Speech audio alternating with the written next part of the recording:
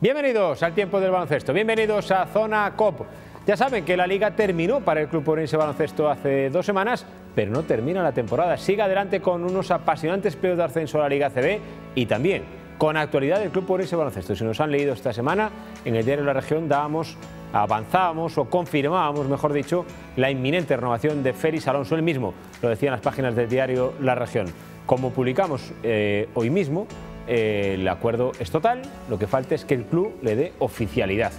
Eh, desde el principio estaba claro que el COP quería renovar a Félix Alonso y que Félix Alonso tenía como primer eh, objetivo, como prioridad, renovar. El acuerdo, como decimos, es total y falta pues, que los dos quieran hacerlo oficial. Hoy, para hablar de la actualidad del COP, de la Liga y del baloncesto en general, nos acompañan Jacobo Rodríguez, buenas tardes. Buenas tardes. Berto Manso, buenas tardes. Hola. Y Rodrigo Rodríguez, buenas tardes. Buenas tardes, Jorge. Tú sí que no tienes vacaciones, tú eres de los No. que estás ahora mismo en pleno rendimiento.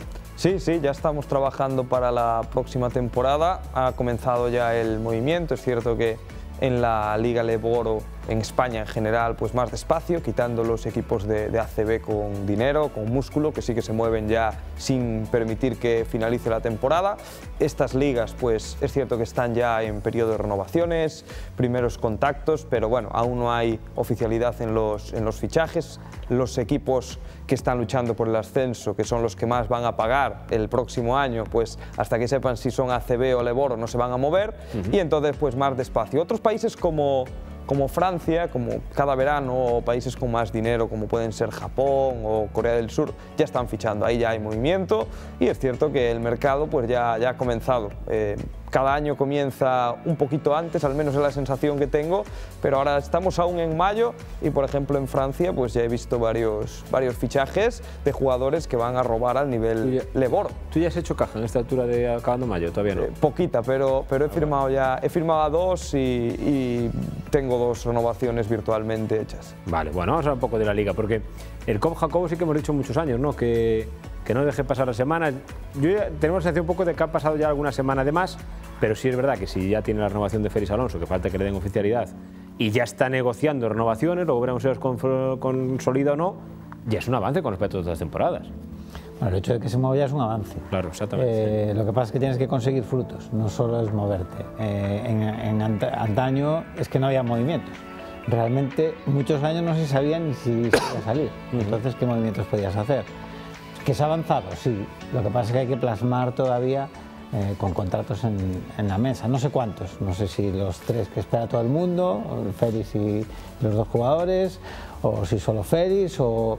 pero sí que creo que estaría bien empezar a dar oficialidad a lo que ya tienen hecho, aparentemente que lo de Félix sí que está hecho, bueno, pues empezar a dar oficialidad para que el, el proyecto eh, camine. Más que nada porque es la piedra angular del mismo y es el que va a tener que confeccionar la plantilla. Luego a partir de ahí, pues veremos evidentemente lo que se puede conseguir. Siempre, sí es verdad que un club como el COP, con el presupuesto que va a tener, eh, hay mucha gente que dice, bueno, salir muy temprano en el mercado también es un hándicap, porque evidentemente ahí el mercado se va a disparar, los jugadores que tú puedas querer van a ser mucho más caros, pero en el caso de estas dos renovaciones que, que- que se pretenden, yo creo que sí que lo tienes que hacer, porque con que dejes que esos dos jugadores no vean iniciativa por tu parte, por mucho que quieran quedarse aquí y puedan poner voluntad, evidentemente luego con que empiece el mercado a moverse, ahí el COP no va a poder competir. Berto, ¿cómo lo ves? Primero, lo de Félix Alonso, que va a renovar, va a ser el entrenador del club ese baloncesto, está Yo hecho. las últimas noticias que tengo es que Félix Alonso hay acuerdo total, está hecho, y en el encargo van Kurkuar y Mangafi. Entiendo que son dos renovaciones, para mí Mangafi es de los jugadores más completos de la liga, y para mí, es mi forma de pensar, Kurkuar es el mejor especialista de la liga. Eh, Defensivo. Puede haber otros pivos que hagan tapio, el típico pivo atlético que pueda estar haciendo salto de altura seguido todo el partido y de vez en cuando le cae algún, algún tapón. Pero como especialista, especialista que intimida atrás y que puede mejorar adelante, aunque tampoco es tan torpe como al principio se decía, para mí el mejor especialista ahí es Kurkuar, sin lugar a dudas. Por lo tanto, serían dos fichajes que marcan el juego interior que también es una opinión personal mía, es definitivo y primordial en el baloncesto por mucho que, que me digan. Quizá no son pibos modernos de estos que ahora suben el balón, pasan y demás, pero son como especialistas y en esta categoría son dos grandes fichajes y a partir de ahí ya se iría a complementar. Yo creo que si consiguen, lo de entrada lo vamos a dar por hecho, si consigue la otra continuidad sería un paso muy muy importante, incluso se transmitiría a la afición una seguridad que sería muy importante. Es cierto. Félix Alonso, yo creo que estamos ustedes de acuerdo, la, la formación es la misma, que está renovado por el club Orense Baloncesto. Falta que, le- que el club lo quiera hacer oficial. Eh, es el paso lógico. Primero empezar por el entrenador, ¿no? Primero empezar por el entrenador para luego, constru- para luego construir. Félix Alonso lo que dice es prioritario ser más competitivos que este año. Lógicamente eso conlleva ser más ambiciosos. Van a intentar pelear por el playoff, quieren pelear por el playoff sabiendo que es una liga, y yo creo que ahí coincidimos todos, en las que cada vez es más caro, en todos los sentidos, jugar el playoff. Dime. Jugar el periodo, porque este año la permanencia Sí, sí, jugar. fue low cost total. Pero claro, a la- Sí, a la vez. pero, pero el año que viene invita a pensar que va a ser más, más cara con los equipos que han ascendido. Sí. Burgos, que va a tener un nuevo proyecto Tizona, además comandado por Diego Campo, que en toda la liga de Le Plata ha perdido un partido. Eh, y después Es- ese sí que está ya en marcha, ¿eh? Sí, y después Menorca, que es un proyecto que también es ambicioso y ya ha empezado a funcionar, y el Prat, es decir, eh, que es otro clásico con jugadores vinculados de Juventud, pero que también va a fichar, que va a ser posiblemente el presupuesto más humilde, pero eh, yo creo que quitando Melilla de los descendidos, los otros dos serán más humildes que ninguno que va a estar este, este Claro. año, por lo cual eh, va a ser una liga que también va a ser más, más competida por abajo.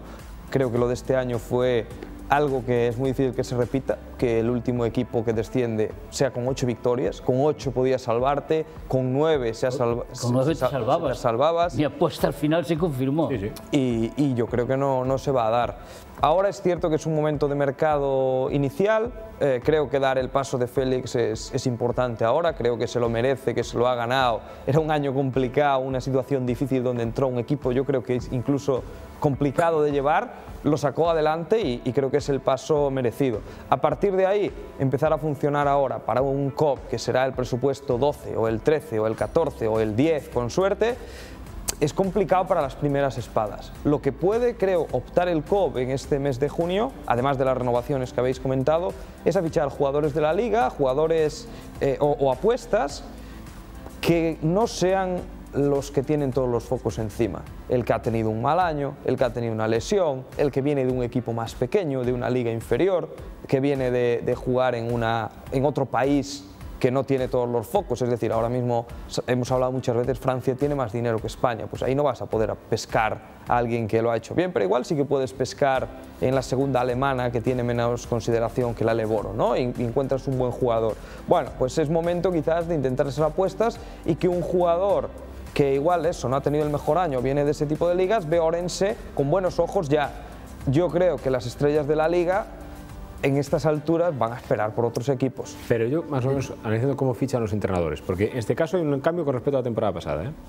y es que toda la responsabilidad, la decisión y el liderazgo a la hora de construir la plantilla es de Félix Alonso. Eso cambia radicalmente el planteamiento de la temporada pasada. Eso ya es un cambio que para la gente que está en la grada le da igual, porque los jugadores son los mismos, pero quien los escoge ya no es la misma persona. Es- hay otro cambio también muy importante. Hasta ahora el COP, quizá por dinero, venía apostando por el juego exterior. Este año se renovan Kurkuar y Mangafi, es indudable que apuestan por el interior. Es de suponer que a lo mejor no, eh, no son unos exteriores que sean más caros, sino que sean más complemento. Hombre, no, que, tengan, que, que también tengan su capacidad, pero quiero decir que la apuesta en este caso sería por dentro, como, y hasta ahora vino siendo siempre en el juego exterior, ¿eh? en los últimos años. Yo creo que el COP va a traer jugadores importantes para el juego exterior. Sobre todo en la posición de uno. Exactamente, sobre todo en la posición de uno, estoy de acuerdo. Sobre todo en la posición de uno. Al baloncesto se juega con juego interior y con un base. Sí. O con dos, mejor. Totalmente de evidentemente. Y es lo que precisamente careció el COP hasta, bueno, prácticamente durante toda la temporada en el 1. Pero otros años, como si, por ejemplo, si estás con un Abobacar de pivo, necesitas un base anotador. En Claro. cambio, con Mangafi y Kurkuar ya necesitas un, un pivo más director. Claro. Es decir, y los precios ya no son los mismos, es decir, cambia mucho si haces una apuesta interior, eh, eh, el- es, que es normal. Yo insisto en lo que dice Jacobo. Hombre, claro que hace falta un base, sin duda. No, este dos, año- dos. No, dos. Dos, dos. Bueno, este año, Y ninguno de los dos va a ser un cualquiera. después de lo que pasó, es indudable. Es decir, este año no- eh, a alguno le sirvió de experiencia, ¿no? Lo que pasó. Pero bueno, oye, Lo que quiero decir con esto, insisto en el mensaje, es decir, que el que va a fichar es Félix Alonso. Eso ya es un cambio. Y todo lo que se va a fichar es porque él va a decir, quiero este y vamos a por este. Y eso ya es un cambio, con respecto a las últimas dos temporadas. Sí, eso es fundamental. El año pasado, aparte de que todo salió mal, la construcción estaba muy mal hecha, pero hubo un choque de trenes entre Sergio y Arenas. Entonces se juntó el hambre con las ganas de comer. Y el resultado pues, fue el que fue. Menos mal que se pudo salvar la temporada. Eh, pero no es muy normal que un director deportivo choque frontalmente con lo que quiere su entrenador. Ahí los dos no pueden estar. Si manda el director deportivo, pues el entrenador sobra y el entrenador, lógicamente, será el que mande sobre esa plantilla. Si el entrenador no le gusta esa plantilla, al final salió lo que salió. Entonces, este año, bueno, como dices, es un avance muy importante. Eh, la persona que va a dirigir las do- los dos aspectos es la que va a trabajar sobre la plantilla, con lo cual puede- puede- ahí no va a chocar. Puede tener la última decisión, pero las gestiones, entre otras cosas, para que él no tenga estar tan pendiente y tal, a lo mejor las puede llevar el Sí, sí, pero, sí, pero, pero me refiero. Pero, Aunque Claro, después la pero la última- decisión es de él. pero lo, que, lo que quiero decir Claro. es que si Félix Alonso, para que la gente lo ponga en tal, dice, quiero, a, por extrapolándolo al fútbol, quiero un delantero centro goleador, no va a venir un medio centro. Va a venir un delantero centro goleador. Vale. Y el que decide, vete a negociar con este, Es es, él, él. es él. Y el director Claro. deportivo negociará con él. Claro. Este no viene, vale, pues ahora vete a por este. Normal. El que va a decir, entonces, lo que yo quiero decir con esto es que muy mal se tiene que poner las cosas para que el equipo no juegue como quiere el entrenador. Luego el nivel será el que sea, pero el equipo al menos no vamos a tener este que decir a qué juega el equipo. El equipo se va a saber a lo que juega desde el principio. Luego veremos el nivel que tiene para ganar más o menos partidos. Pero este año yo creo que el problema era que tardamos, yo no sé, acabó la temporada y no lo supimos. ¿A qué jugaba el Copa? Porque había días que jugaba una cosa, otros días a otra, otros días metía mucho, otros días no metía nada, otros días aportaban uno. No, y después que tanto una temporada como la otra, estas dos últimas, el mercado de invierno vino a solucionar muchos problemas. Claro. Que el- al principio de temporada no se acertó precisamente en ninguna de las dos. Es que yo creo que Félix hará un equipo, no lo sabemos, más veterano, más joven, más apuestas, menos apuestas, más defensivo, más ofensivo, más de juego rápido, no lo sabemos, no lo sabemos. Pero el que sea, yo creo que sabemos todos que lo va a elegir él. Esto es mínimo, el equipo no va a estar perdido. Claro, el estilo, decir. el estilo de él ya más o menos ahora ya, ya lo conocemos. Entonces, Claro. ese es el, el estilo que se va a ver, ni más ni menos. Él no se va a equivocar eh, en los jugadores que quiere para ese estilo. Claro. Luego veremos qué rendimiento dan. Porque los es otro elige él. tema. Y Los luego de- hablaba el otro día contigo, Roy. Gonzalo García de Vitoria siempre acertó cuando tuvo tiempo. Otra cosa, que hubo años que Gonzalo hacía el equipo que le quedaba, que era cuando el equipo entraba tarde al mercado, cuando no había un duro, cuando... Entonces, claro, no ficha lo que que- quería Gonzalo, fichaba lo que quedaba.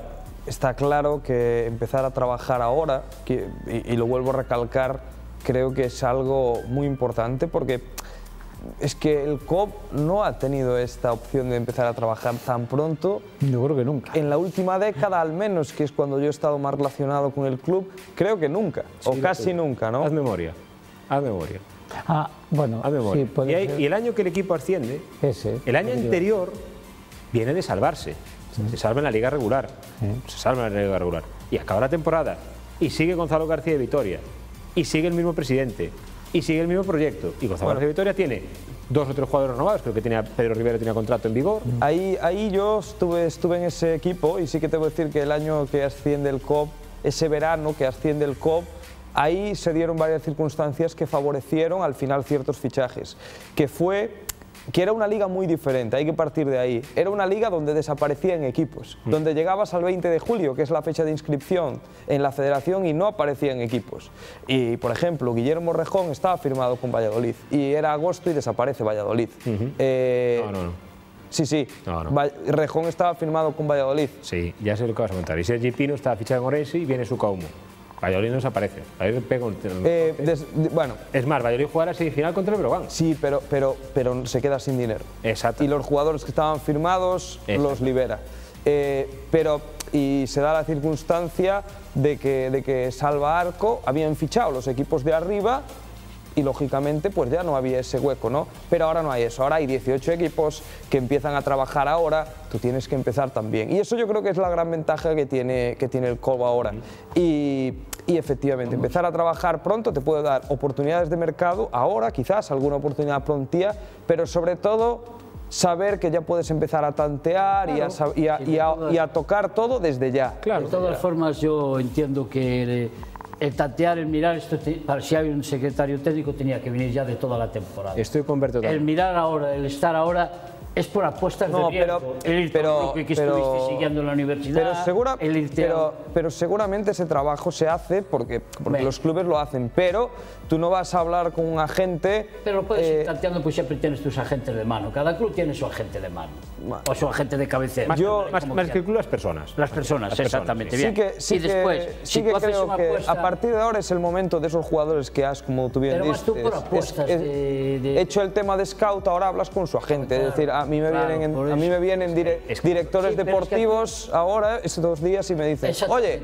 ¿cómo es la situación de este? Y yo no le he ofrecido nada. ¿Por qué? Porque han hecho un scout durante la Claro. temporada. Es que eso se trata, es que ahora cuando tienes que hacer apuestas, por ejemplo, por gente que tú estabas siguiendo, Eso que es. estabas controlando, Eso que sí veías, que te lo permite- puedes hacer. Pero es que los entrenadores que Eso, hay, eso la te lo mayoría- permite junio, por ejemplo. Sí. Ahora tú, eh, recuerdo Sergio Rodríguez, no el año que fiché en Orense, el anterior. La el anterior año, me, eh, me acuerdo que Gonzalo lo tenía ya en agenda. Gonzalo García de Vitoria, aquí en Orense, tenía a Sergio Rodríguez en agenda. Pero era, eran estas fechas, inicio de junio, y apareció eh, anunciado por Huesca. Claro, el COP no se podía mover, no había un presupuesto, no estaba el aval depositado. Sergio Rodríguez firmó en inicio de, junio en Huesca, desaparece del mercado, ¿no? Eso es lo que te permite ahora entrar pronto. Yo después lo que hablabais del tema del, estilo de, de Félix, yo creo que, que Félix si algo en estos años desde fuera he visto es que se adapta. Cuando ha jugado, por ejemplo, cuando ha entrenado, perdón, fuera de España, en Suecia, era un estilo muy agresivo, muy rápido. De hecho, te contaba Jorge el otro día, es quien da la oportunidad como rookie a Reggie Johnson, el base que, que después estuvo aquí. Eh, bueno, eh, yo creo que se amolda ¿no? a- a- al presupuesto, a las opciones y es capaz de moldear. ¿no? Y creo que eso también es un, un atributo que es muy importante. Es decir, tendrá sus ideas en la cabeza, pero si el mercado no me ofrece esto y me ofrece esto otro, yo me moldeo y sé que voy a entrenar de esta manera. Pero el, Yo- pero el mercado no es lo mismo ir ahora y moldearte ahora Pero es Está que, claro. que irte en el mes de julio o agosto. Ya, pero es que el problema, aquí vuelvo a repetir, que yo estoy de acuerdo en lo que estábamos hablando de que vienes con un seguimiento y tal. Yo veía, por ejemplo, ayer un chavalín de 2.18 de la NCA, Iguabu o Iguadú, algo así, que es comunitario, que hizo una universidad muy buena y tal. Ese chico, cualquier club le puede estar lanzando ahora en este momento algo. No va a jugar en NBA, vamos, ni loco, ni va a jugar en la G-Liga, pero es un 2.18 muy largo, una cosa parecida. Yo, yo te digo también, Entonces, eh, eh, el- para hacer una apuesta, para enterarte, hablar con la gente, mirar, eso es lo- Ahora, ¿qué pasa? Que aquí muchos entrenadores ya también tienen su gente, que la conocen, a este lo entrené allí, este lo conozco allí, sé que va a venir y me va a rendir. Es decir, esas apuestas en la Leporo no se dan. a ver, está, yo, yo ahí sí Bueno. que, sí, sí, yo, yo estoy con Berto, pero digo, ahí hay dos tipos de, de ligas muy diferentes. Es decir, yo hoy se lo pasaba a un, a un amigo, hay un jugador que hemos seguido tres años en NCA, en universidades medio altas, que tenía una pinta tremenda. Claro, el jugador lo han firmado ya hoy en Bélgica. Bélgica, Alemania, Holanda, son países que apuestan muchísimo por rookies, no tienen nada de miedo. Ellos van en los foráneos, dicen, pagarle X dinero a un rookie, alto me refiero, ciertamente el salario más alto de la plantilla o de los más altos, no tienen ese miedo. Aquí en España es cierto que el tipo de apuestas es más de otro tipo. Valoran mucho los entrenadores los jugadores que ya han jugado en la liga. Es decir, hay un pensamiento de que España O es... en primeras ligas. Sí, Sí, no, de- pero pero hay un pensamiento de que España es muy táctica, entonces el jugador que ya ha verdad. jugado en la liga Y es verdad. tiene ese conocimiento, esa, tienen esa garantía de que tiene el conocimiento táctico para, para jugar, por lo cual ese dinero más alto se reserva para esas apuestas de, de- de dentro de la liga. Y, y ahí está claro, que es, que es un poco lo que os comentaba antes, que los jugadores que destacan, y yo voy a poner un ejemplo que, porque hablábamos Jorge en privado, tú y yo hace unos días, de- y, y ya ha fichado por un equipo bueno, de jugador de equipo eh, que debuta en la liga y que lo hace bien, efectivamente. Pero Aurrecoechea. Ya lo puse yo en cartel hace dos años. Claro. Tuvo que ir a Islandia el tío. Claro, pero, pero Aurrecoechea ahora, después, pero yo te digo, después de jugar en el Albacete, seguramente lo tengan en su agenda Hombre, claro. 15 directores deportivos de la, Sí, de la Leboro. Entonces, para, para el COP es un tipo de fichaje que yo veo complejo. Ahora, ahora, lo pongo como ejemplo porque ya ha fichado en estudiantes, entonces ya sabemos que de ahí no va, no va a bajar. Y así yo creo que va a ¿Se acordáis pasar el base, el base serbio que vino aquí en aquella temporada del año que descendimos? Dimitrijevic. Pues, a Rocochea es de esa generación. Sí. Se vinieron juntos. ¿Para qué vino? Y deja marchar a un chaval que es nacional, que no ocupa ficha, a Islandia. Dos años tuvo que estar allí. Cambió de equipo, pero en dos años. Sí, Aurrecoechea se fue a Que es Islandia. una cosa que, que no entiendes. Sí, pero se fue a Islandia por tema económico. Es decir, aquí las apuestas, primero demuestras ¿Y y después te pago. Porque Albacete ha hecho esa apuesta económica, es decir, vas a ser el importante de la plantilla. Este año era el jugador Yo- más pagado en Albacete. Hay cosas, ya te digo, y en concreto me pasaba con este chico, y hay un puertorriqueño de 2.13 que también el otro día lo estaba viendo, y, y son jugadores que son el típico jugador del Esport. Pero, pero ahí sí que es cierto que quitando un par de proyectos que aparecen, vamos a nombrar Oviedo, por ejemplo, que es un clásico equipo que, que hace esta- este tipo de apuestas, en la LEB se busca más esto y otro. le tiene salido bien, ¿eh? pero en la LEB se busca más esto otro. Puede, tiene sus pros, sus contras, jugadores que conocen la liga. Yo es donde veo que el COB, estos jugadores que ya están en los radares de todos, es más difícil, pero junio es un momento para, oye, hay jugadores, y, y lo hemos hablado, no, no voy a descubrir aquí algunos nombres que hemos hablado, eh, de equipos que han descendido o que han estado en parte baja y que son apunto- perfectamente fichables. Te apunto dos nombres que los veía el otro día en el partido y los hablé contigo, y contigo lo hablé hace un año. Los dos chavales que están por cupo en el Vasconia, Kurs y Rieste. Para mí son dos fichajes que, muy interesantísimos para el foro. Los tienen simplemente en el banquillo porque les obligan en cupos. esos chicos- Llevan dos años de suplentes. Pero esos- Esos chavales están deseando Pero salir. los chicos que dice Berto, por ejemplo, son jugadores fichables en Leporo. A mí me parece complejo. A mí me parece complejo. Eh, es que están en el Vasconia, es decir, Sí, pero en el Vasconia están por cupo, ¿eh? Como Ya. estaba Alex el año pasado. Per- pero algo juegan y el Vasconia necesita No, a Cruz ya esos le dijo cupos. que se marchaba. Va- vamos a ver, porque yo creo, por ejemplo, esos chicos siendo em, de, las de, de la zona báltica, eh, es que ese, Sí, perfil, ese perfil de jugador, Kurux, lo normal es que fichen el VTB Riga Hombre, y juegue, y juegue Sí, pero- la, la liga VTB, que es la liga rusa, Sí, para la gente, desde una los- liga top 6 del mundo ahora mismo. Sí, pero llevan aquí desde los 14 años, con arraigo, con todo. Ya, De- pero el, el- el poder económico de, Bueno, no sé, yo de no- esas ligas respecto a la LEB, la LEB tendría que ir a un equipo de arriba pagándole mucho y sin demostrar nada en ACB o jugando muy poco, Hombre, mejor que demostrar nada, Esa es la apuesta. difícil. Esa es la apuesta. Y yo vuelvo a repetir, son jugadores Berto, que yo van a quedar soy, en mercado. yo soy de los tuyos, sabes que trabajo Ya lo tengo jugador, clarísimo. sabes que trabajo jugador americano, yo apuestas a tu tiplén, Yo- pero los entrenadores que te estoy Es que diciendo son dos chavales. A ven Cruz- las cosas a diferentes. Cruz ya le dijeron que lo largaban. Bien, pero bueno, y, y, eh, son chavales que si quieren seguir en España, Berto, al Foro le viene de Sí, pero, maravilla. pero- pero hay, hay dos posibilidades, que quieran seguir en España y otra que no. Hombre, es lo que dice aquí En muchas ACB seguro que quieren seguir. Hay muchas posibilidades. Por ejemplo, Rieste es estonio, creo. Sí. Y entonces hay posibilidades, pero tampoco Estonia va a ser un mercado, y sobre todo a lo mejor en Estonia valora más el que hubiera sido suplente aquí. Bueno, ¿eh? vamos a dejar de. Vamos, Jacobo, estamos aquí hablando del, del mercado de la liga, pero bueno, nos vamos a ir a la publicidad porque nos hemos comido casi la mitad del programa hablando del mercado de la liga y no hemos hablado casi del mercado del COP y también de la actualidad del Aeropuerto Publi y seguimos.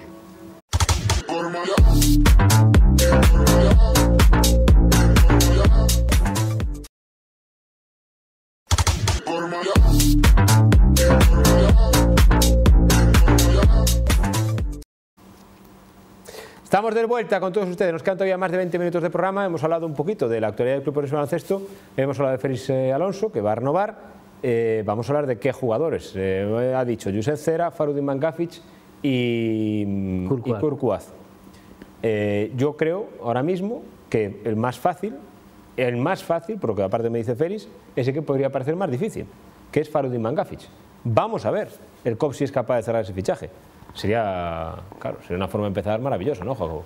Hombre, sin duda, pero si, lo, si es capaz de ficharlo, evidentemente es porque el COP ha hecho una apuesta clara por él, pero que te demuestra lo que es importante a la hora de fichar. Es decir, tú tienes que fichar jugadores que quieran estar contigo. Exacto.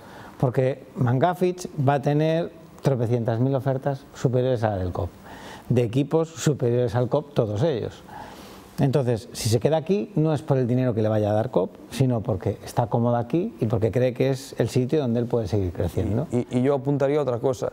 Si Mangafic renueva ahora lo hace renunciando a salir a mercado. Sí. Es decir, eh, cuando un jugador tiene un año que destaca mucho eh, y renuncia a salir a mercado es porque realmente quiere estar en ese sitio donde, donde renueva. Porque una salida a mercado metiendo 15 puntos en la LEB, aunque sea un equipo de, de tabla media-baja, te va a dar posiblemente más dinero del que puede pagar COP y lo sabe el chico, lo sabe su agente y lo sabe su entorno.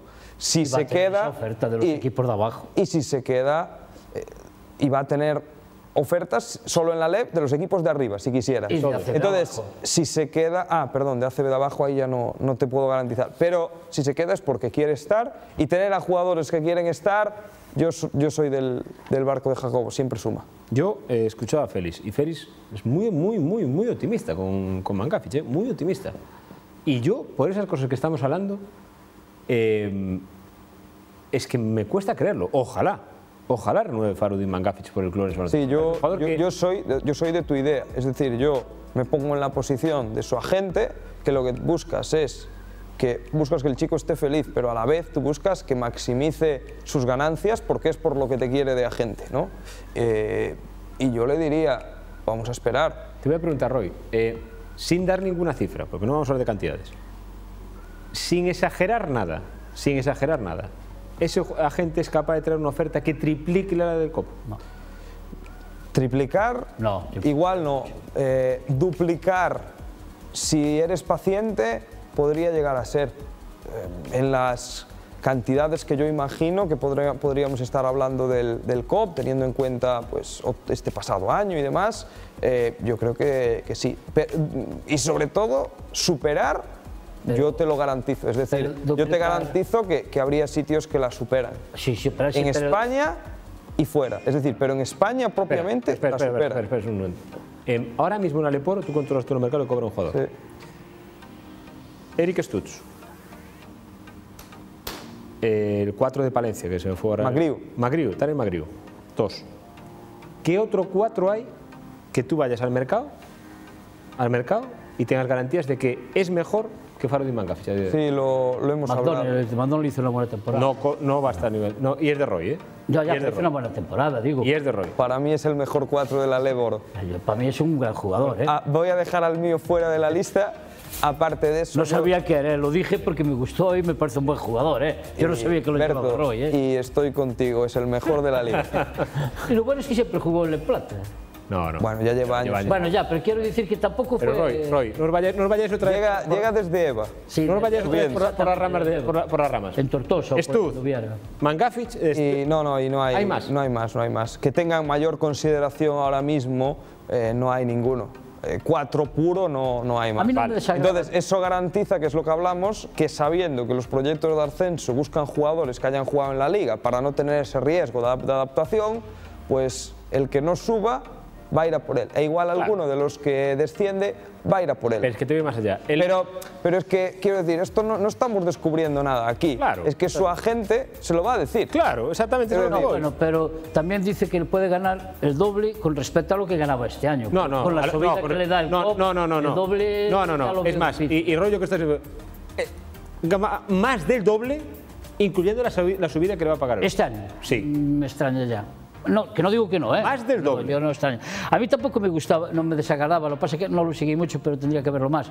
Y no sé cómo quedaría. El Buckingham, el de Jurassic. Sí, el tema es que es un cuatro americano, que es, yo creo que es lo que, por ejemplo, le resta. De hecho, es que todos los cuatros que habéis dicho son americanos quitando. Exactamente. Y la Lebor hay que recordar, hay que recordar al aficionado que solo permite dos americanos por equipo, que no son muchos dos americanos por equipo, Es que Farudin Mangafic, si va ahora a la Pro B, ¿cuántas ofertas puede tener? muchas. Y, y no te voy a decir un jugador que he recibido yo una oferta en la Pro B, no te puedo decir el dinero en público. Ahí voy. Pero un jugador en la Pro B que ha terminado este año ya en la liga, pero promediando 7 puntos por partido, no ha sido una, una estrella, el tipo de oferta hay pocas en Lebor. Ahí voy. Es que el problema es que la gente aquí, lo que Roy, no tiene ni idea de lo que se paga en la liga y en otras ligas. Es decir, eh, hemos hablado tú y yo muchas veces de los jugadores que llevas tú, del estilo de jugador. ¿Cuánto le pueden pagar a Farudin Mangafic en una liga asiática? si, si consigue entrar es eh, muchísimo dinero. Ahí hablamos de cuatro o cinco veces, cuatro o cinco veces lo del Eboro. Pero es es decir, más limitado la entrada. sí, pero, pero ellos gustan de jugadores grandes que tiran. El jugador grande que tira. Es decir, exactamente. Por ejemplo, Kurkuaz no tiene ningún recorrido en el mercado asiático, ninguno. Nadie va a pagar por Kurkuaz, ni un céntimo van a pagar por él. Mangafic, ¿cuánto pueden pagar una liga asiática por él? Muchísimo. Lo que Yo- quiera. Pero Lo que quiera. para mí, para mí Kurkuar es el mejor especialista, el- el Ep Oro. Sí, pero, para mí es el mejor especialista pero- de la liga. ¿eh? Sí, pero hay eh, lo que dice Ahora, Jorge, fuera- hay las ligas ah, para que entienda la gente la diferencia entre fútbol y baloncesto es que en baloncesto hay reglamentos muy diferentes en cuanto a formación de plantillas en todo el mundo. Entonces, por ejemplo, Japón, que es una liga que ahora mismo es la que quiere ir todo el mundo, buena calidad de vida, muchísimo dinero, pero muchísimo hablamos que más que Euroliga en ciertos equipos. Y, y claro, Japón permite dos americanos y hay un nivel del jugador japonés que es muy bajo. es, es muy bajo y además son muy pequeños, por lo cual ellos buscan dos jugadores grandes que a la vez son capaces de crearse ellos mismos Exacto. con bote, en poste bajo, con tiro, 30 puntos por partido o 35. Eh, igual no entra en la primera división Mangafic, pero es que si entra en la segunda, Ya triple. El triple no, no, Eso- en la eso- segunda son cinco veces lo de Cinco la- veces más cobra, exactamente. Es que el problema, Roy, es que es lo que la, la gente tiene que entender. Que si Mangafic renueva No, aquí, no arriesgar, no, no arriesgar a, a mirar el mercado significaría algo muy, muy importante de Mangafic con Orense. Ahí, Eso lo Ese fue el. Fuera de que el jugador le guste a unos más, a otros menos. Yo, lo que decía Jacobo, para mí lo apuntaba perfectamente. Tener jugadores buenos y comprometidos te da mucho. Si Mangafis renueva en Orense, y la gente tiene que ser consciente que Mangafis renuncia a muchísimo dinero por quedarse en el COP. Y si se queda en el COP es por un motivo. Bueno, lo han tratado bien, eso es verdad. Por Félix Alonso. Porque es el primer condicionante que ha puesto. Si no está Félix Alonso, no hay ninguna posibilidad para que yo negocie con Orense. Ya quiere decir algo. Ya quiere decir algo. ¿No? Y eso yo iría un poco más allá. Es decir, este ejemplo, si se concreta finalmente, eh, te abre puertas a fichajes. Es decir, los fichajes que pueda hacer COP y otros equipos, eh, no porque COP tenga más que nadie. Eh, muchos fichajes se hacen no por el poder económico que tengas, sino por el, el poder de convicción de quien ficha. O, o mejor dicho, del que dirige. Sobre todo en, en el ¿Vale? tema de jugador español, que lo hablábamos antes, Claro. que lo haya hecho bien, o sea, que no haya sido, lógicamente, que no tenga detrás, vamos a poner un ejemplo, a un Burgos de este año, un Andorra, porque es que ahí no compites, pero donde ya esté en el Alicante o el Valladolid, que igual le pagan un poquito más, pero tú compites, ahí yo estoy con Jacobo, ese perfil de jugadores que están en Alicante, en Valladolid, en Castellón, ahí el COP sí que puede optar. No a todos, lógicamente, pero puede optar a ese perfil de jugadores y esos son equipos de la zona baja de, de playoff. Bueno, os voy a ir cortando porque ponme ahí un cuadro que tenemos por ahí, nos hemos eh, corrido casi el programa hablando de jugadores. Em, ponme el cuadro del playoff, ¿cómo van los playoffs de la liga? Porque el Coperto está parado, por desgracia no jugamos postemporada. Bueno, y por suerte acabamos en la liga, pero eh, Alicante, Algu- Algunos le fastidiaron hasta la NBA. exacto, Buah, qué desgracia, ¿verdad? Alicante, Palencia, 2-0 gana Palencia, ahí yo creo que coincidimos todos, es lo lógico, ¿no? Sí, ahí, eh, bueno, Alicante ha tenido lesiones, Espera, Matulión. espera, que ahora, ahora te- ahora te pongo imágenes. Eh, Burgos, Estudiantes Burgos. 0-2, gana Burgos. Burgos tiene ahora dos partidos en casa para resolver. Y yo creo que dos eliminatorias para mí, eh, una increíble y la otra engañosa. Valladolid 2, Lleida 0, dos partidos que son igualadísimos, es decir, que a mí sí me decía otro en el podcast, que Valladolid resuelve 3-0, digo, puede ser. Y si van al quinto también me lo creo, porque está igualadísima esa eliminatoria, y la otra sí que yo creo que no la esperaba nadie. Coruña, Guipúzcoa. Pongo imágenes eh, del partido de Palencia con el Alicante, por favor. Y vemos imágenes de alguno de esos partidos de playoff. Jacobo, eh, lo esperado, ¿no? Sí, menos lo de Coruña. Eh, El Palencia, que lo, lo normal, ¿no? Es decir, 2-0, Jacobo. Sí, hombre, yo esperaba que mm, Alicante compitiese un poco más. Más que nada porque la versión de Palencia, eh, yo siempre acuño el refrán de que los árboles no te impidan ver el bosque. Es decir, Palencia se va a meter con un 3-0 normalmente. Eh, pero eso no quiere decir que cambie mi opinión de que en la Final Four no sé qué opciones le veo porque no son muchas. El equipo sigue estando mal, Sí. no ha llegado bien. Entonces puedes ganar 3-0 y de 30 a los 3 y eso no quiere decir nada, tienes que ver el rival. Sí, yo creo que, como dice Jacobo, el equipo empezó al máximo de su rendimiento con la plantilla que, que tienen y en esta parte final... En esta parte final han bajado un, un poquito. Tema de, de Alicante, eh, ha empezado con bajas, Gatel llegó tocado y se torció el tobillo el primer partido, Matulionis no ha estado. Si a un equipo corto le quitas dos jugadores que han sido principales este año, el primer partido no compiten, el segundo empezaron bien, pero al final por nivel se, se vinieron abajo. Es posible que saquen uno en casa, pero como vosotros decís, favorito Palencia. Pero, Berto, vamos con otro, porque si no, no nos da tiempo de comentar los cuatro. ¿A ti? No, no, yo, Palencia fue mi apuesta desde el primer día. Vamos a poner otra imagen. Vamos a, por ejemplo, a ver la eliminatoria del Básquet Coruña, que yo creo que sí que esta, es que yo creo que esta apuesta no la ponía absolutamente nadie. Ni siquiera en San Sebastián, Berto, 0-2 va ganando el A mí Coruña, y creo que lo comenté más de una vez, es un equipo que no me gusta, me pa- parece muy, muy monótono, muy mecánico, eh, a poco que no, no, no, no es nada imaginativo, para mí, como entiendo yo eso.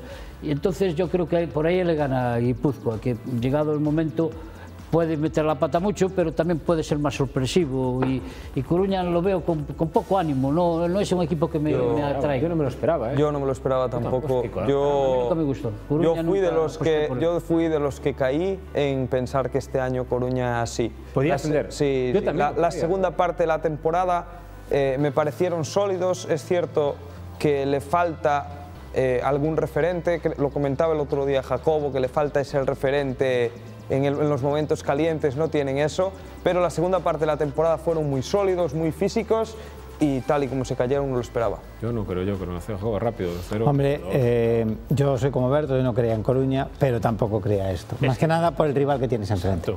Eh, Guipúzcoa no te puede ganar 0-2 y sobre todo porque es que no has competido en ninguno de los dos partidos, en tu casa, En tu ¿vale? casa. Con lo cual, esa es la sorpresa. Tiene más puntos Guipúzcoa con todo eso, tiene más Tiene, puntos. tiene, Sí, sí, no digo que no. He llegado el momento. Pero tiene más potencial y más jugadores Coruña. Es que Coruña quedó tercero de la liga. Es decir, Bueno, pero yo creo que eso ha sido un poco irreal. ¿eh? Esos 9, 10, 11 partidos que hicieron casi seguidos, Sí. yo creo que ha sido una racha un poco, es lo que te decía antes de Palencia, ha sido un Yo, poco yo por irreal. eso pensé que terminaban fuerte. sí, puede ser. Sí, pero han llegado fatal. Ponme otra imagen. Vamos a ver la eliminatoria estrella de, la- de estos cuartos de final. Estudiantes Burgos. Eh, yo lo decía en el podcast, yo no le daba opciones a estudiantes y si le daba alguna era ganando el primer partido para así tener alguna opción de forzar el quinto. El primer partido fue igualado de verdad, tuvo opciones eh, Estudiantes fue por delante mucho tuvo estudiantes, pero ahora sí que con 0-2 Burgos, ahora sí que yo lo doy favoritísimo porque va lanzado la Final Four y va a organizarla además. Yo el otro día te decía que le daba el margen de que ganara un estudiante. Claro. Yo ahora ya no se lo doy. Evidentemente van a quedar un 0-3 y va a ser todavía más contundente en, en Burgos. Eh, Burgos es el mejor equipo de lejos y si no pasa nada raro, se va a llevar la Final Four, pero de sobra. Estoy de Yo, acuerdo. yo- Yo, yo Burgos, Burgos eh, en su casa es el equipo que más, el jugar en casa que más marca. En su casa es un equipo muy difícil de sorprender en partidos decisivos, Sí. no por en la fase regular, pero llegado el momento, la hora de la verdad, es un equipo duro. Y a mí, estudiantes, yo creo que peca de bisoño en muchas ocasiones, de irregular, los cambios que hubo en el banquillo. Yo creo que en ningún momento estuvo fijo, en ningún momento estuvo centrado, concentrado en lo que tenía que hacer y cuál era su objetivo. Estaba muy disperso, siempre lo vi muy disperso. Yo creo que lo hemos hablado Roy yo alguna vez. Para mí, incluso hubo un momento de temporada que me sorprendió positivamente Estudiantes, un momento que iba mejor de lo que yo esperaba, porque es que yo, cuando vi la, la- el final de la plantilla, dije, es que este no es un equipo de ascender. Sí, lo hablamos muchas veces. Para mí hay una diferencia entre un equipo de ACB, de jugadores ACB, y un equipo bueno del Eboro. Eso es lo que es Estudiantes y Burgos. ¿Qué pasa? Que Burgos, durante gran parte de la temporada, por exceso de presión principalmente, pegó varias patinadas. Yo creí que iban a cambiar con Curro Segura, siguieron pegando algunas patinadas, pero ya fueron un poquito más sólidos. Y creo que en esta parte final de la temporada han terminado bastante bien, obviando uno o dos partidos donde se la han vuelto a, a pegar, ¿no? Pero han terminado bien y, y creo que siguen en esa senda. Tienen, son el mejor equipo, un equipo que lo pones en ACB y se puede salvar tal, con esta plantilla tal y como la tienen. Y estudiantes. eh, creo que es más problema de confección de plantilla, que es un equipo bueno de la liga, ¿eh? para quedar donde ha quedado, que tanto las culpas que han echado a, a Javi Rodríguez. Creo que el equipo da para lo que da, el cambio de entrenador es seguir en lo mismo Sí. y por desgracia este año para ellos había dos eh, transatlánticos, uno ya ascendido, el otro es máximo favorito. Totalmente. Y Nos queda una eliminatoria que yo ahí sí que he visto los dos partidos, eh, Valladolid y Lleida, el- aparte con polémica en los dos partidos. Eh, para mí es una eliminatoria tremenda, apasionante, duelo de estilos. Yo creo que si el segundo partido, eh, creo que es el segundo, pasa en Orense, hoy solo hablamos de eso. Sí, ponme, ponme por favor las imágenes de Valladolid con el, con el Lleida. Ahí las tenemos. Eh, son dos eliminatorios. Bueno, para mí la polémica, estoy de acuerdo con Roy, una polémica tremenda en ese partido, pero lo hablamos muchas veces. Eh, cuando aquí no hay instant replay, claro, va a la decisión de la mesa, de los árbitros. Y bueno, y la clave es que Lleida se va a 0-2. Ahora bien, yo después de ver los dos primeros partidos, a mí me dices que van al quinto y me lo creo. Es decir, está Y, muy y Lleida en casa es espectacular, no hay que eso, por olvidar los resultados de Lleida en Los dos son Barris, ¿no? espectaculares en su casa, eh, los dos. En Valladolid en casa también lo es, eh, Roy. Yo creo que el mérito de los dos es estar donde llegaron. Sí. Ahí ya deben de darse por satisfechos y la temporada está más que justificada. Y a partir de ahí el que más suerte tenga pues saldrá para adelante y sin más. Pero te compro el boleto, Berto, pero claro, el que gane va a decir temporadón, me voy a la Final Four. No. Voy a la Final Four, caramba, ostras. Pero es que le toque con quien le toque... No, no, no, no, no, no, no. Yo Pero no es lo compro, mismo ¿eh? del año de, No, no, de- no, de no. Cobb. El año que, que Cobb se mete también había transatlánticos. Es que pero vas, di- vas, disfrutas y a un partido puede Exacto. pasar cualquier cosa. Pero ir a una Final que- Four es un temporadón, ostras. No, no, pero es que yo Valladolid o Lleida con Palencia, por Sí, puede ejemplo, haber, puede yo te digo que pasan, ¿eh? Yo no, eh, Claro, con, con Burgos no, Compiten, sí. pero van a competir y les van a poner muchísimos problemas. Ir a la Final Four, Valladolid y Lleida, ostras. A ver si ahora vas una más, no le pueden pedir nada más. No, si yo estoy diciendo que tienen todo el mérito del mundo, hicieron una gran temporada y para mí son de los equipos que con más justicia tuvo en el que llegaran a donde llegaron. ¿eh? Es que Incluso, incluso Lleida que perdió a su mejor jugador. hemos Sí, hablado pero de... juegan mejor sin ese mejor jugador. Lleida juega mejor desde que Carrera no está. Pero, pero gana mí, a mí no me convence Pero Carrera, bueno, nunca me convenció. gana menos. Yo es que valoro- parece que le yo es que soy de los que yo es que soy de los que Yo me gusta ganar y gana menos. Yo estoy con. Juan, Juegan más coral, El otro día, no, mira, ca- no caen en técnicas. Claro, pues eso es lo que te digo. Pues con Carrera, esto de lo que estamos hablando, el otro partido, el, el arbitral, con Carrera no existía. Porque pero- he- he echa Lleida del partido ya, digo una cosa, mucho antes. pero dos, dos partidos iguales con carrera igual, los dos van para. Pero no, es que Carrera no acaba ese tipo de partidos. Y además con Paco, menos. Puede ser, Porque Paco se encarga de que Carrera no termine el Más que partido. carrera es, es decir, que para el año que viene no lo ficharé nadie aquí. Pero en, en Canarias, en Canarias no lo está jugando. ¿eh? En Canarias no está jugando. ¿Quién? El Carrera. Sí, pero el Canarias está jugando el playoff, creo que el ACB. No, Es otro nivel. es otro nivel. Y, y es el típico jugador, eh, para cerrar lo que hablábamos hoy de fichajes, que si no juega ACB, el año que viene Ah, el, el Betis, el Ah, sí, Fuenlabrada, sí. el, a el fichar. estudiante si no asciende, van se a va a petar. Lleida. Van a petar. Se va a Lleida. Olvídate, Bueno, se va a Lleida. Ahí, ahí ya tengo una duda. Volverá, pero, Eh, hoy- pero van a petar. Ese van a es el petar todos. Carrera va a ser el Arsen de este año. El Arsen. O el Arsen del año pasado. Puede ser, puede ser. Va a heredar el papel del Arsen. Bueno, lo que sí Que petan todos, ¿no? Lo que sí está claro es que yo creo que ahora todo el Porque mundo el Arsen creo que ya va a ir perdiendo. va al favorito del Burgos para la Final Four. La va a organizar teóricamente. Coruña ha dicho que no. Palencia ya incluso reconoce que. Estudiantes también dijo que no. No, Estudiantes no puede decir que no. Si va para casa ya es no. Eh, y va a ser en Burgos. Y Coruña tampoco. Coruña ha dicho que no, ha dicho que Rocentros Burgos va a ser el clarísimo favorito. Bueno, la semana que viene, eh, yo creo que hoy es miércoles cuando estamos haciendo el programa. Eh, Félix Alonso va a renovar mañana pasado, oficialmente, y yo quiero pensar en lo que confío en Félix. Ahora, yo hasta que vea eso de Mangafich renovado, yo no me lo creo. ¿eh? Yo no me creo esa renovación, porque me parece un petardazo. ¿eh? Parece un petardazo sentido. Sería un puntazo. Es un Supongo que para la afición también. Estoy, estoy de acuerdo. Debería estoy de acuerdo, estoy de acuerdo. Y lo otro sí que ya. eh, me voy a leer. No vamos a leer, ¿verdad, Roy? No vamos a leer nada de- ni de Kurkuat ni de Cera porque no vamos a leer. Y que nadie interprete nada bueno ni nada malo. Berto, lo de Mangafis, ¿tú lo ves para la semana que viene?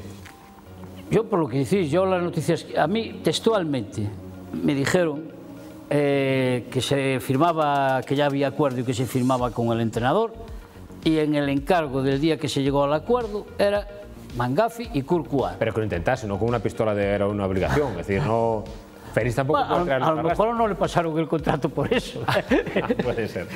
Pero vamos, que el recado lo llevaba. Puede que ser. llevaba el recado de esos dos. A mí personalmente, aun reconociendo el valor y lo importante y lo decisivo y todo lo demás que hay en Mangafi, vuelvo a opinar, Kurkuar como especialista para mí es el mejor de la, de la liga. Yo a mí me gustan los dos. A mí me gustan los dos y me quedaría con los dos. Yo me quedaría, yo, mi opinión, yo me quedaría. Intimida mucho, Pero también, está allí. también te digo una cosa, Berto. El que sabe de eso es el entrenador. Sí, pero no hay en la liga otro jugador como él, ¿eh? Estoy acuerdo, si yo, yo renovaría los dos, he dicho, pero que sabe eso es el entrenador.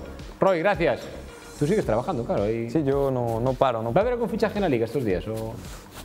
Eh, puede haberlos porque hay gente que está, que está 100% en el mercado. Sí. creo que tardarán un poquito más en anunciarse. Va a haber, va a empezar a haber seguro acuerdos ya, pero bueno, vamos a ver cuándo se firman. Yo creo que Pazar para, para, para 15 de junio ya hay, ya hay fichajes Paz en anunciados. el base que se va a Bilbao. Bueno, Son pues, Bilbao, creo. Eso ya es. Eso ya no es la liga. Exactamente, eso, ya es no, liga. Eso ya es otra liga. Bueno, Jacobo, muchas gracias. A ti. Berto, muchas gracias. Nada. Estén atentos al diario de la región, ya le hemos avanzado la renovación de Félix Alonso y les seguiremos contando toda la actualidad, como siempre, del Club Orense Baloncesto este fin de semana. Pueden resolverse o no los playoffs de la Liga Aleporo. Nosotros puntuales la semana que viene estamos aquí para contarle todo lo que genera la Liga y sobre todo todo lo que genera el Club Orense Baloncesto. Que pasen buena semana. Adiós.